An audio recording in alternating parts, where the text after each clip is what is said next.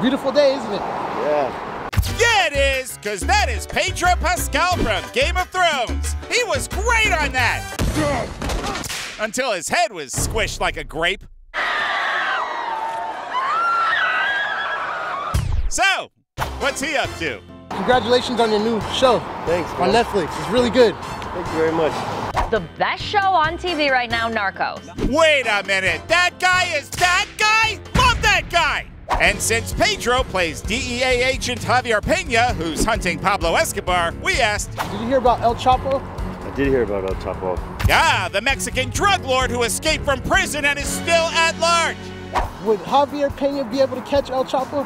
He might have a little bit of, of an advantage. He's um, Mexican American. He'd be able to hunt El Chapo and then go home at night. What a considered answer. Because he's Mexican, he'll be able to catch him. Yeah, but why couldn't the Mexicans catch him?